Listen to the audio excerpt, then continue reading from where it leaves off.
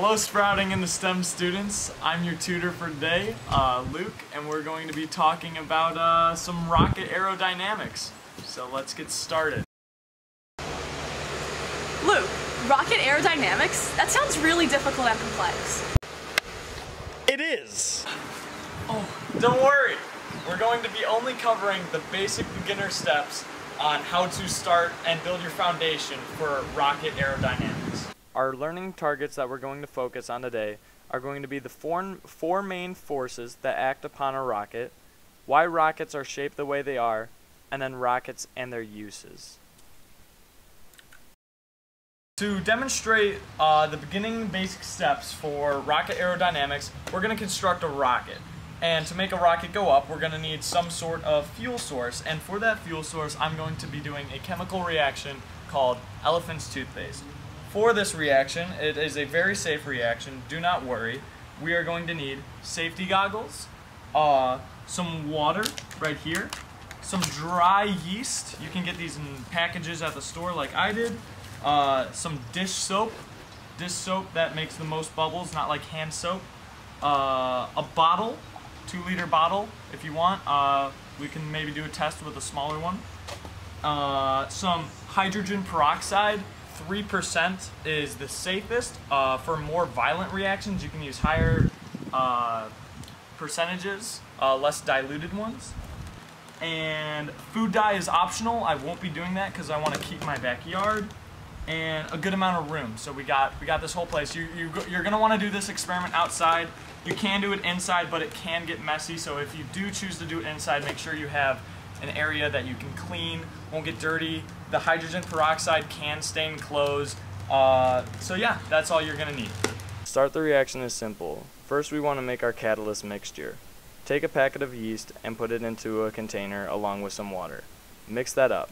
This is making our catalyst. A catalyst is something that you can add to a chemical reaction that will speed up the reaction and make it go a lot quicker. We need the yeast in order to speed up this chemical reaction for the elephant's toothpaste to work. Once you have that stirred up, you make your second mixture with the soap and hydrogen peroxide. In this clip, we do not use enough hydrogen peroxide. You want to use around half a cup to a full cup of hydrogen peroxide in order to get a good a good amount of foam in elephant's toothpaste. The four forces on a rocket are simple. They're weight, also known as the force of gravity, thrust, the force that propels the rocket upward, drag, the force that opposes the force of thrust, and lift. Weight is pretty much the weight of the rocket. It's what's going to pull it down. It's like when you drop a ball and the ball goes to the earth. It's going to pull it to the center of the earth. Thrust is gained from your rocket fuel. In our case, this will be our elephant's toothpaste. Drag is also known as air resistance. Think of little air particles pushing on the rocket's head as it shoots up throughout the air. That's what drag is. And lift, lift is what's going to stabilize the rocket. Keep it going straight. Now, the reason why rockets are shaped the way they are, like why they have this nose shaped like a cone here, is to minimize drag. Less drag means that we don't have to have as much thrust to get the rocket as high as we want, go as fast as we want. So an overall overall point is that less drag, the better, or the easier.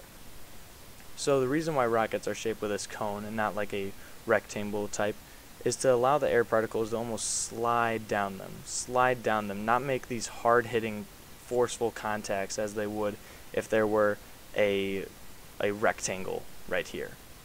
Now, the fins on a rocket are really meant for the stabilization. Without the fins, this rocket would just go up through the air and wiggle, waggle all about. But with the fins, they really keep it on its course of path that it's going and keep it stable. They help out with the lift. As for how we can apply rockets, as you can see just from the SpaceX website alone, you can see rockets all around and how they're being used especially with the mission that was launched just a few days ago, sending sending the first few people on a SpaceX rocket into space. You can see how rockets are being used right now and how how important they're going to be in the future when we try to send people to Mars.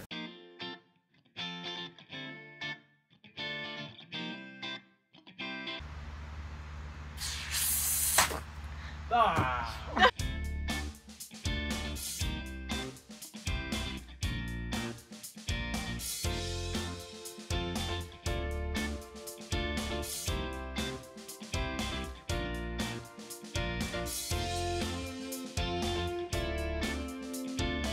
When doing this experiment, please be safe and make sure you wear safety goggles. Rockets are projectiles and can be dangerous if not used properly.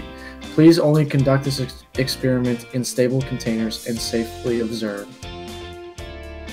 So here is our next mixture. Mixture. We're using uh, about a cup and a half of hydrogen peroxide, four tablespoons of water, two, we, we pretty much just doubled it, adding a little more hydrogen peroxide than we normally would.